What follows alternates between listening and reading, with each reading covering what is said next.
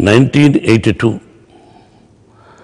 మా అన్నయ్య నందమూరి తారక రామారావు గారితో నా బ్యానర్ ప్రారంభమైంది. శ్రీ లక్ష్మీ ప్రసన్న పిక్చర్స్. మా అమ్మాయి పేరు మీద.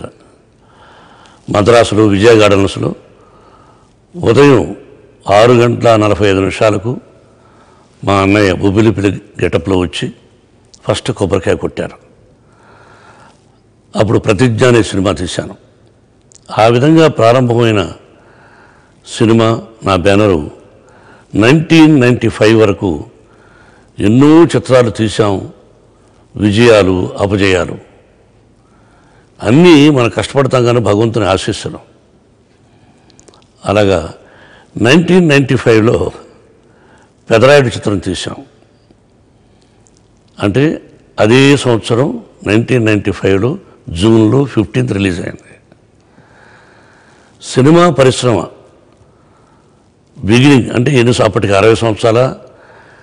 యాభై సంవత్సరాలు అయిందో కానీ అన్ని సంవత్సరాల్లో పెదరాయుడు చేసినటువంటి కలెక్షన్స్ ఏ సినిమాలు లేవు లేవు లేవు. ఇది వాస్తవం. ఇది మీ అందరికీ తెలుసది.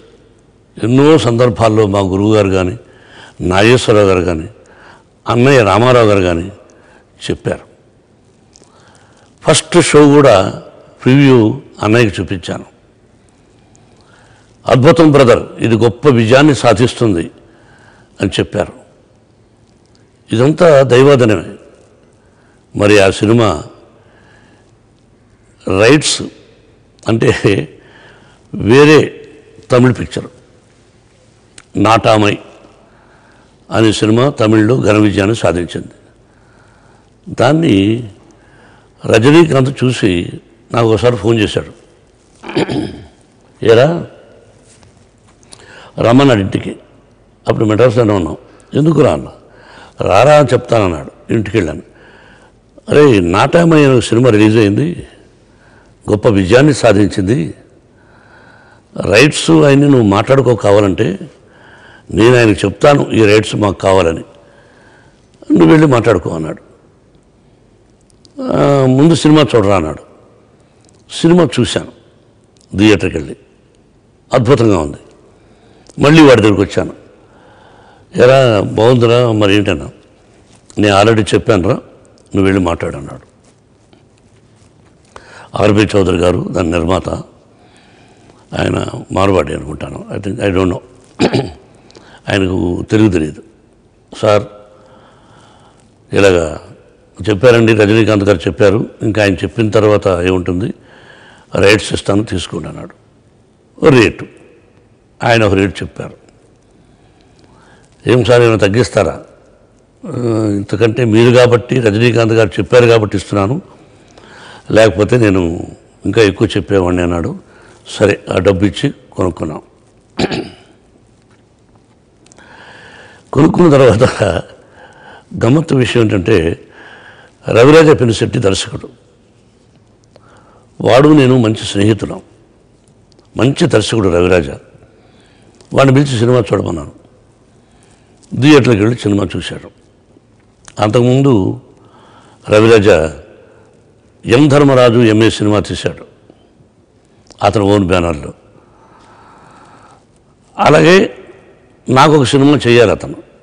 అందుకని ఏమయ్యా అని అడిగారు వీడు చూశాడు బాబు అంతా బాగానే ఉంది కానీ ఏదో డౌట్ ఉంది. నాకు ఒక వన్ డే టైం ఇస్తావా? అన్నాడు. ఎందుకు ఇవ్వాలి టైము? రజనీకాంత్ చూశాడు. నేను చూశాను నువ్వు చూసావు బాగుందంటున్నావు. మళ్ళీ డౌట్స్ ఉంటావు డౌట్స్ ఏదో మార్చుకోవచ్చు కదా అన్నాను. అయినా వన్ డే అడిగాడు. ఈలోగా నా కోపం వచ్చి డైరెక్టర్ బి గోపాల్ అసెంబ్లీలో కూడా తీశాడు నాకు ఇరవై ఐదు వరాల చిత్రం గోపాలకు ఫోన్ చేశాను. వచ్చాడు. ఏం గోపాల్ ఇలా పలానా చిత్రం రైట్స్ కొన్నాను. నువ్వు చెయ్యాలి. రవిరాజాని అడిగాను. వాడికి ఏదో డౌట్ చెప్పాడు. మరి నీ సంగతి ఏంటన్నాం సినిమా చూడకుండానే అన్న నాకు ఏదో ఒక సినిమా ఉంది. డేట్స్ కుదరమేమో తప్పించుకున్నాడు. సరే ఎందుకు తప్పించుకున్నాడో నాకు తెలియదు నేనేమన్నా డబ్బులు తక్కువగా బేరమాడతానని అనుకున్నాడేమో వెళ్ళిపోయాడు. నెక్స్ట్ డే మళ్ళీ రవిరాజ వచ్చాడు. బాబు నేను సినిమా చేస్తాను అన్నాడు. ఎస్ అయిపోయింది. నెక్స్ట్ దానిలో ఒక పాత్ర ఉంది. నాకు తండ్రి అంటే పెదరాయుడికి తండ్రి. ఇక రజనీకాంత్ దగ్గర పోయాను. ఏరా పెదరాయుడు తండ్రి పాత్ర ఉంది. అది ఎట్లా అనుకుంటున్నాను? అన్ని సెటప్ అయినాయి రవిరాజ డైరెక్టరు ఆలోచిస్తున్నారు అన్న నువ్వు ఆలోచించింది ఏంట్రా నేను చేస్తున్నా అన్నాడు. నువ్వేంట్రా అన్న? అవునరా నేను నీకు చెప్పింది ఎందుకో తెలుసా? ఆ క్యారెక్టరు నేను చేయాలని. అద్భుతంగా ఉంటుంది రే అది గెస్ట్ వేషంరా నాకు నువ్వు తండ్రి వేషం వేయడం ఏంట్రా? అంటే లేదరా నేను చేస్తాను అన్నాడు. వచ్చి రవిరాజకి చెప్పాను. ఆశ్చర్యపోయాడు. ఓకే బాబు మీ ఇద్దరు స్నేహం మీద చేస్తానంటున్నాడు. సంతోషం ఒకసారి కలుస్తా అన్నాడు కలిశాడు. మాట్లాడుకున్నాం. ఓకే ఒక్కసారి హైదరాబాద్కి వెళ్ళి ఓపెనింగ్ అనుకున్నాం. వెళ్ళాం. ఫ్లైట్లో నేను రవిరాజ ముందు కూర్చున్నాం. అంటే ఇప్పుడు బిజినెస్ క్లాస్ ఎకానమీ నేను రవిరాజ కొంచెం ముందున్నాం. వెనకాన ఎక్కడో రజనీకాంత్ కూర్చున్నాడు. సరే ఒక ప్రయాణం పదిహేను నిమిషాలు ట్రావెల్ చేశాం. ఎయిర్ హోస్ట్ ఒక స్లిప్ ఒక కవర్ ఇచ్చింది. ఏంటని అడిగితే రజనీకాంత్ గారు ఇచ్చారు అన్న. సరే కవర్ చూస్తే రజనీకాంత్ ఫోటో. వాడు ఈ సినిమాలో చేస్తానని చెప్పి వాడే ఇంట్రెస్ట్ తీసుకొని వాళ్ళ విగ్ మేకర్ని పిలిచి వాళ్ళ మేకప్ మ్యాన్ పిలిచి వాళ్ళ డ్రెస్ మేకర్ని పిలిచి గెటప్ వేసి తీసిన ఫోటో. చూసి షాక్ అయ్యాను. What a sincerity fellow. Hats up to him అటువంటి స్నేహితుడు నాకు ఉండడం గొప్ప గర్వకారణం. పక్కనే రవిరాజు చూసి బాబు అద్భుతం. నేను వెళ్ళి థ్యాంక్స్ చెప్పాను సరే వెళ్ళి థ్యాంక్స్ చెప్పాడు. నేను కూడా వెళ్ళాను. ఒరే అద్భుతంగా ఉందని అన్నాం. ఇక హైదరాబాద్ దిగిన తర్వాత ఆర్టిస్టులు ఎవరా ఎవరా అనుకొని భానుప్రియ సౌందర్య ఇక ఇక మిగతా ఆర్టిస్ట్ అనేది కన్ఫర్మ్ చేశాం. Next opening. టైటిల్ ఏంటి రా అన్న. పెదరాయుడు పెట్టు అన్నాడు ఒరే ఎందుకురా ఈ ఈ ఈ టైప్లో అంతకుముందు ఇది ఒక సినిమా వచ్చి ఆడలేదు మళ్ళీ పెదరాయుడు ఏంట్రా అన్న? ఏ నువ్వు పెట్టరా నువ్వు నా మాట వినన్నాడు పెదరాయుడు టైటిల్. ఓపెనింగ్. మా అన్నయ్య ముఖ్యమంత్రి అప్పుడు. సరే అన్నయ్య దగ్గరికి పోయి అన్నయ్య ఇలా ఇలా అని చెప్పాను. ఆల్ రైట్ వస్తున్నాం ఉన్నారు అది కృష్ణ ఓబ్రాయ్. అంతకుముందు దానికి ఎదురుగా హాలిడే అని ఉండేది. దానిలో ఓపెనింగ్ ఉదయం నాగేశ్వర గారు రామారావు గారు టి సుబ్రహ్మణ్యుడి గారు మా గురువు గారు దాసనారాయణ గారు ఇంకా ఎంతోమంది అతిరథ మహారథులు సోదరుడు రాఘవేంద్రరావు అందరూ వచ్చారు. సరే క్లాప్ కొట్టే క్లాప్.